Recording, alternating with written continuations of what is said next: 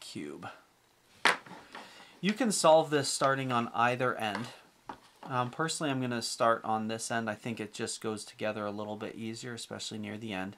If you start on the end that has 3 and then 2, as opposed to the other one has um, a 3 and then 3 and then 3.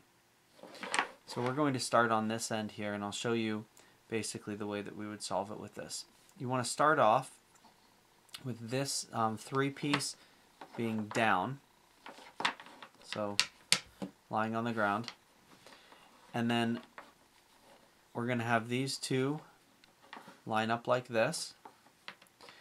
And our third section, we're actually going to twist sideways so that it's coming right up at you. And our next one is going to go down beside that.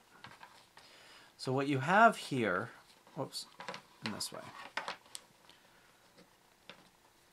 there is the start to this puzzle. So you've got the first section, three, then two, and then we've got these two uprights.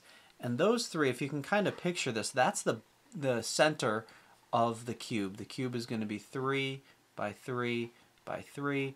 And so from this point on, all we're basically going to do is take what's left of this and just wrap it around these two upright um, pieces. So I'm going to start here and I twisted that sideways. And now uh, I had a three piece go along there, a three piece will go along here. I'm going to have to do a little bit of twisting with this. Um, let's see, where's the rope? Oh, there we go. So that goes over to there and then over again. I'm going to turn the things down.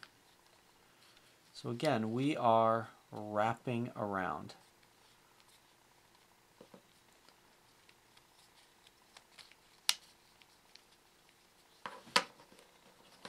Wrapping and wrapping.